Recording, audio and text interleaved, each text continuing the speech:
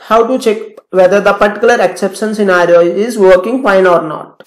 i will explain you guys. Okay? Even i already written some code which will return some exceptions so you can clearly get it. And if we go to our code and clearly observe we'll have some methods right which will throw exception. It means uh, if the if you give some idea and if, if not return the boolean value it will throw some exception. Now we want to cover it. Okay?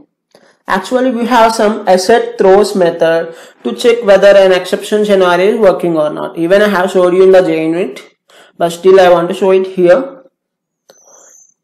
As we all know that in spring boot we are we are also having the custom exception. I will show you that scenario also okay? Now we have to check for this right let's replace the method name here. And let's try to mock employee service method. Dot check existing employee. Yeah it's existing employee. And let's give any int here as the input parameters any integer. Then let's try to return false. Because we'll get exception when uh, we got a false scenario only okay?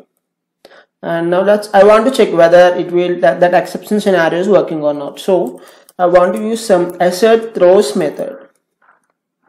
Okay i can use something like exception dot class. And let me try to call controller from here employee controller dot verify. Let's give some random id okay. And let's put some semicolon here. Let's try to run the test case.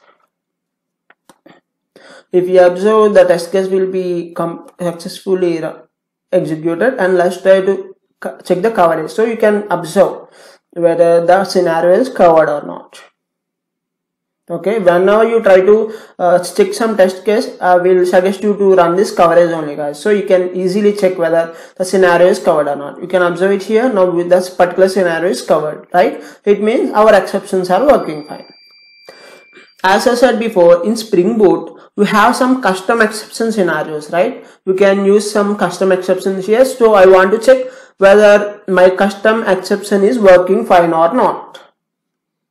Okay, let's go to employee controller and if you observe here, we have something like verify ID method, okay?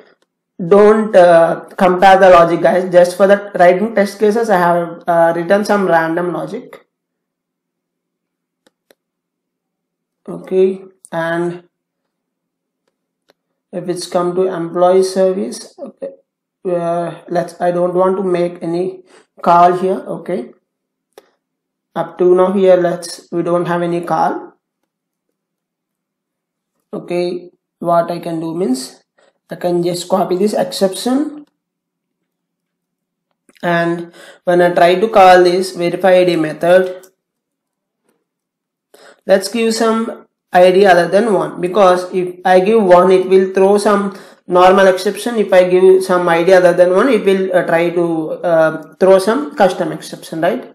Let's try to cover uh, run like uh, let's try to run the coverage so you can clearly understand whether the scenario is covered or not. Okay. Let's check it here. Let's wait. Yeah. Observe. Now we observe. Now our custom exception scenario is also got covered. Okay